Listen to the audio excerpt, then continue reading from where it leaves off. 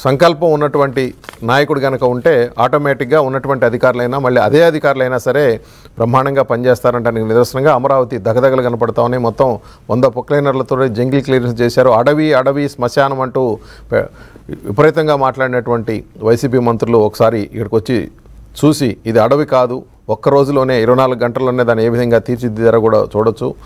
పోతుల బాలకోటి గారు నేను యాక్చువల్గా అక్కడి నుంచి ఒక వీడియో కూడా చేశారు. ఆయన ఆయన మనతోటి వాళ్ళ స్టూడియోలో ఉన్నారు. కోటి గారు గ్రహణం వీడింది అమరావతికి. చాలా కాలంగా మాట్లాడుకుంటున్నాం ఐదేళ్ళుగా మనం అమరావతి సంబంధించి ఊపిరి పీల్చుకునేటువంటి మాటలు రకరకాలుగా మనం వ్యాఖ్యానాలు చేస్తూ వచ్చాం. బట్ ప్రజలు స్పష్టమైనటువంటి తీర్పు ఇచ్చారు బట్ రెండు రోజులుగా జరుగుతున్నటువంటి పరిస్థితి అమరావతిలో.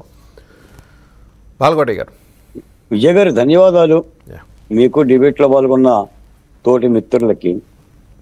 విజయ్ గారు ఓ రెండే రెండు అంశాలు. ఒక పండుగ వాతావరణంలో ఉన్నాం. మరో ఇరవై నాలుగు గంటల్లో ఈ రాష్ట్రంలో కొత్త ప్రభుత్వం ముఖ్యంగా రాష్ట్ర ప్రజలందరూ ఆశించిన చంద్రబాబు నాయుడు గారి సారథ్యంలో గన్నవరంలో రంగరంగ వైభవంగా అద్భుతంగా ఒక నూతన ప్రభుత్వం ఏర్పడబోతుంది. ఆ సందర్భంగా మీకు టీవీ ఫైవ్కి అందరికీ కూడా శుభాకాంక్షలు.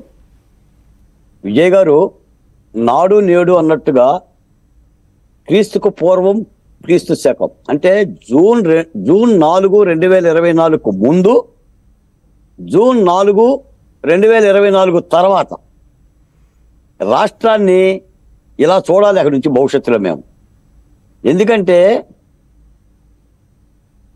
మేము అనుకున్నది జరిగింది మేము కోరుకున్నది నెరవేరింది ఐదేళ్ళుగా మేము పడ్డ శ్రమ కష్ట మొత్తం ధీరోదాత్త పోరాటం ఫలించింది. గతంలో పది ప్రక్రియలు తెచ్చి మాజీ ముఖ్యమంత్రి జగన్మోహన్ రెడ్డి గారు ప్రజావేదికను కూల్చేశారు నూతనంగా బాధ్యతలు స్వీకరించబోతున్న చంద్రబాబు నాయుడు గారు వంద ప్రక్రియలు తెచ్చేసి అడవిగా మారిన అమరావతిని బాగు చేసే ప్రయత్నం చేస్తున్నాడు. అంటే ఒక ముఖ్యమంత్రి మారిన మారితే ఎలా ఉంటుంది రాష్ట్రము అని. నాకు తెలిసి ఇప్పటికీ కూడా వైసీపీ నాయకులు అంటే నేనేదో వైసీపీ నాయకులు అనాలనో వాళ్ళ మీద విమర్శలు చేయాలనో నాకైతే అవసరం కూడా లేదు. ఎందుకంటే కోరిక ఫలించింది కాబట్టి. ఇప్పటికి వాళ్ళకి అర్థం కావడంలా. ఎందుకు ఓడిపోయాం? ఎందుకు ఓడిపోయాం? అనేది వాళ్ళు ఇంకా అర్థం కావట్లా. ఇంకా మూడు క్యాపిటల్స్ అంటున్నారు. ఇంకా గడప గడపక అంటున్నారు. మేము డబ్బులు ఇచ్చామని అంటున్నారు. చింతామణి నాటకంలో కనుక సుబ్బిశెట్టి అంటాడు. కొట్టింది ఎవరో గుర్తులేదు కాదు లేవదీసింది నన్నే. అన్న భ్రమలోనే ఉండాలి వాళ్ళు. అన్నట్టుగానే ఉండాలి. ఎక్కడ ప్రక్షాళన లేదు. ఎందుకంటే ఒక దుర్మార్గమైన పరిపాలన చవి చూశారు కాబట్టి ఆంధ్ర రాష్ట్రంలో ప్రజలు ఈ విధమైన డ్యామిట్ కథడం జరిగిందని తీర్పునిచ్చారు. ఇది మనం ఎన్నోసార్లు ఇదే టీవీ డిబేట్లో చెప్పాం. ఏ కాడికి ఇవాళ వాళ్ళ పత్రికలో జగన్మోహన్ రెడ్డి గారిని కలిసిన వైసీపీ నాయకులు. ఒక పెద్ద వార్త. అంటే ఇంతకాల పాపం కలయిక కూడా దూరం అయిపోయిన అభ్యర్థులు నాయకులు చాలాసేపు మాట్లాడారంట. చాలాసేపు జగన్మోహన్ రెడ్డి గారితో మాట్లాడారంట. ఇది అన్నమాట. కాబట్టి ఒక దుర్మార్గమైన పరిపాలన చూసాం నేను మళ్ళీ చెప్తున్నా మళ్ళీ చెప్తున్నా మళ్ళీ చెప్తున్నా ఆఖరిగా చెప్తున్నా.